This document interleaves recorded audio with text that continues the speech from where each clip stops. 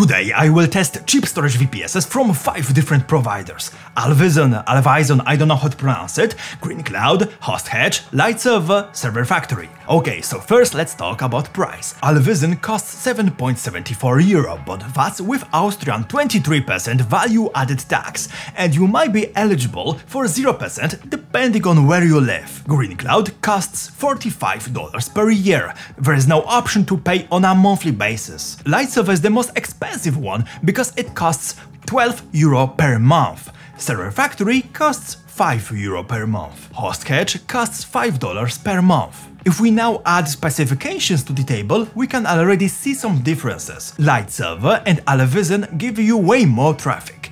Alwyzon and GreenCloud should have the most power in terms of CPU and RAM, but now let's test how they perform in reality. First, let's take a look at Geekbench 6 results. GreenCloud has the best single-core performance by a huge margin, more than 2 times better than Hosthatch. If we take a look at multi-core performance, yeah, huge difference. Now random reads and writes. Here Server Factory takes the lead, and Alwyzon is just slightly behind. Hosthatch result is bad, but if you want to store big files, like backups compressed in archives, then this result is still okay and you won't notice it. The sad thing is that read and write performance on big files is just abysmal on Hosthatch. It's not fast enough to utilize 1 gigabit internet connection. Now network performance. All of these VPSs are in Europe, all except Austrian Alwyzon are in the Netherlands. First let's take a look at maximum throughput to France. All of them are great, and here we see the first really good result on Hosthatch. Now let's take a look at connection speed to New York. All results are great, but Server Factory is noticeably slower, and if you need to retrieve backup from different continent, it will be noticeably slower. Backups hosted in different continents is something that I really recommend doing by the way. Now, ZSTD decompression speed. Worst result belongs to Hosthatch because of this awful CPU performance. Same trend continues with ZSTD compression time, and sadly both Hosthatch and Server Factory's performance here is bad, like really bad to the point where you may not use compression at all because it's just so slow. Rate this benchmark.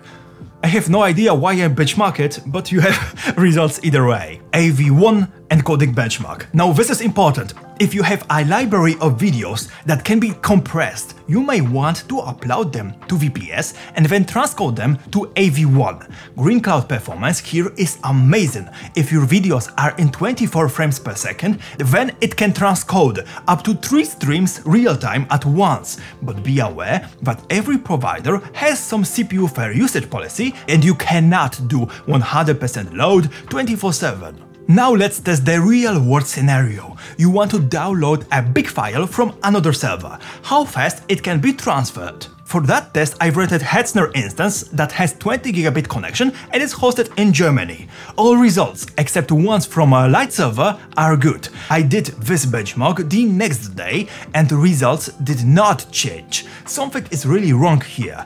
It shouldn't be that bad, but I will give you guys an update in a pinned comment if they manage to fix it. Okay, so after testing, I've waited 24 hours and pushed this downloaded file on each storage VPS to yet another Hetzner server. By doing so, I've given time for this file to be pushed away from RAM cache into disks.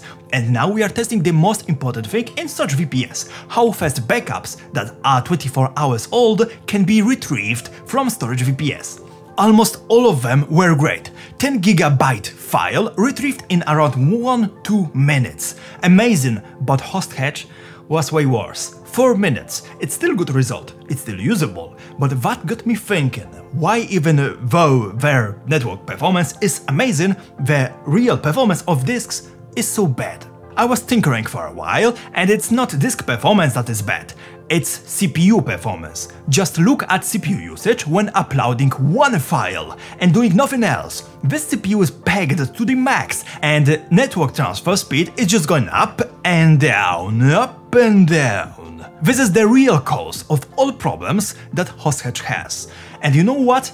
They could fix that. This node has Xeon E5 2620 V3 with 6 cores and 85 watt TDP. They could install E5 2630 V4 with 10 cores and also 85 watt TDP. Multi-core performance on this 10 core CPU would be around 60% better, that is quite noticeable. And you might ask how much this upgrade would cost? Around $9.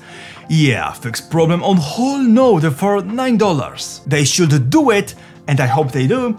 Of course, it's not that straightforward, because that will require them to turn off server and replace CPU, which takes some time, and customers won't be happy about that. That is a great topic for discussion. What is more important in storage VPS?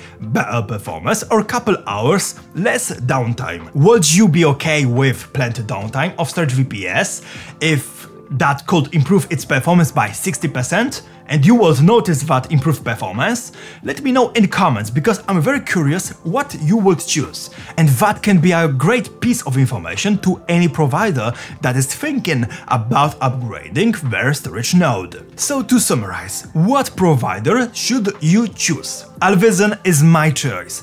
A little bit more expensive, but it is worth it, with such great CPU performance, 2GB of RAM and 15TB of traffic.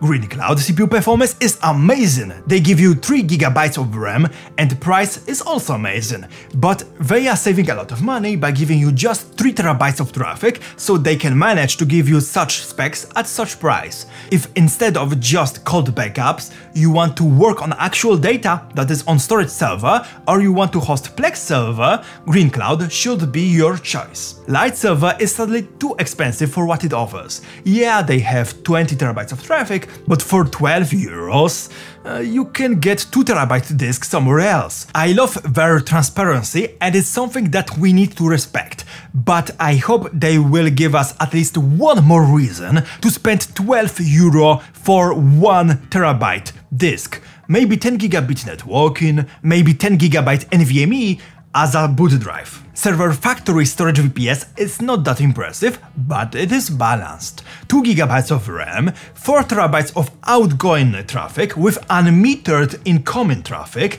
and pricing is on the lower scale. Server Factory is not a big brand, and if you like to support the underdog that gives you good value, go with them. Hosthatch. I expected something a little better than what I received single Xeon V3 core paired with RAID 60, where CPU needs to calculate parity data, just won't cut it today, even for this price. And you know what is funny? I had high expectations because I already have another storage VPS from them. 2TB, $110 for 3 years, which ends up at bottom low pricing, but it was limited time deal of course that they posted on LowEndTalk forum. This cheap 2TB storage VPS has way better CPU because it has AMD EPYC, and on that $110 deal, server performance is way way better.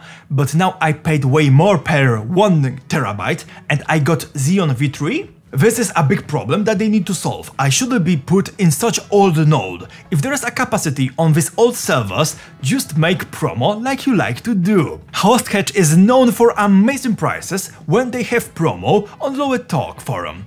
And it's just bad that higher margin products that they have displayed on page have such awful performance. I just shouldn't be placed on this config for this price. At least that's what I believe and uh, that's what benchmarks show. Sorry that I end this video with kinda negative vibe, but yeah, let me know what do you think about the situation and what is your favorite storage VPS provider. That's all for today, have a nice day.